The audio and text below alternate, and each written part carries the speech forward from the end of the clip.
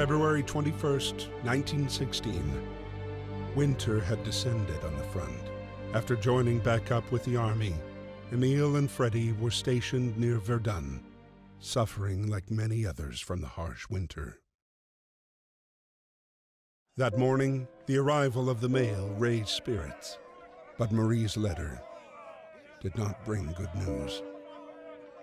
In Saint Mihiel, food was scarce, disease was rife, and the number of dead was growing. Out of this grim news, however, there was one ray of light a photo of his grandson, Victor, standing on both feet and learning to walk.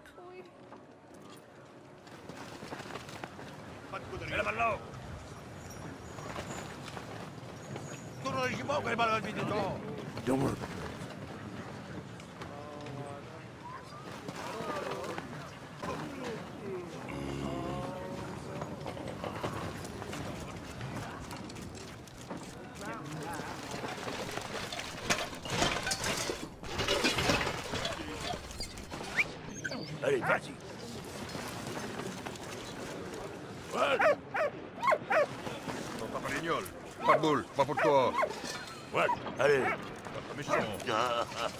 Боже.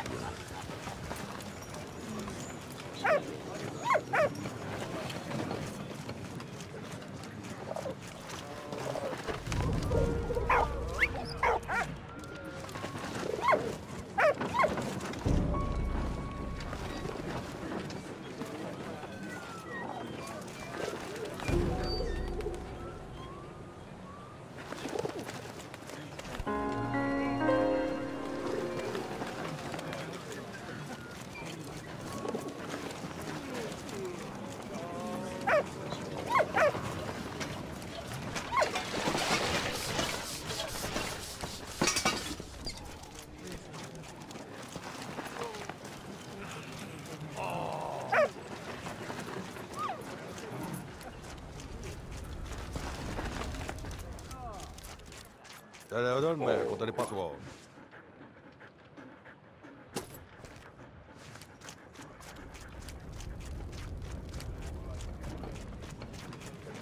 Ugh.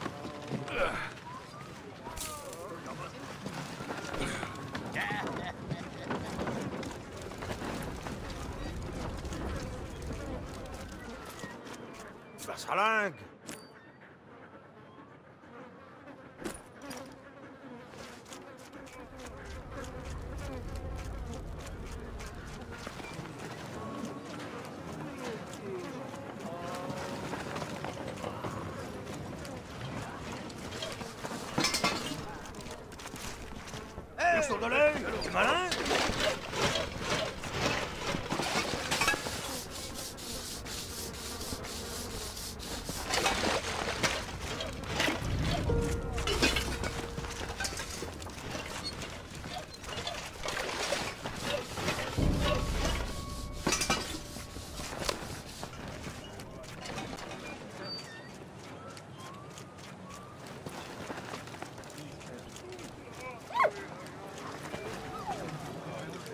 Ouais.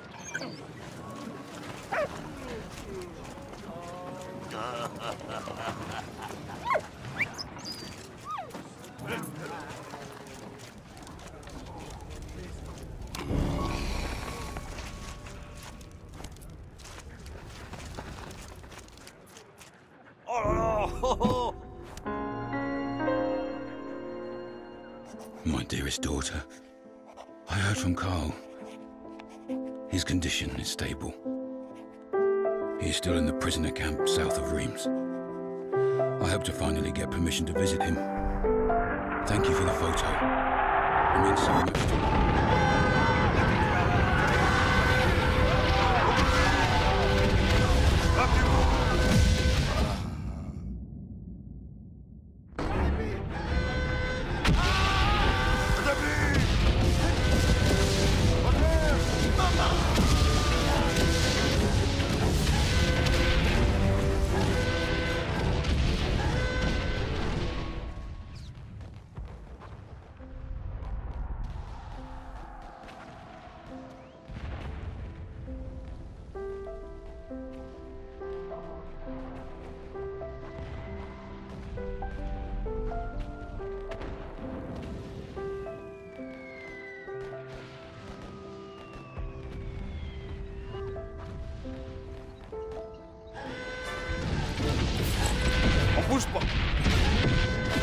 Restez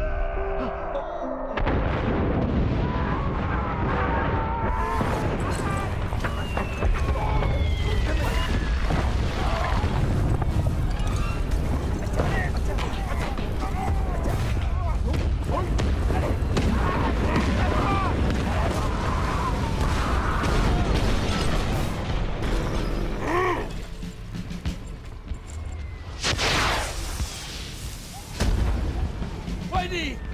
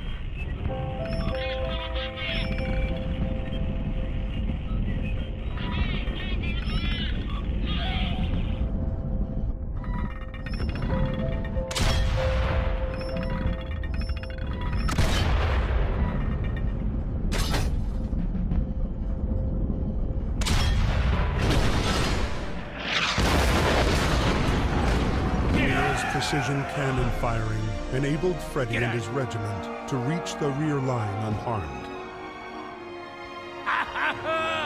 Bravo, Freddie! Bill, thank you very much.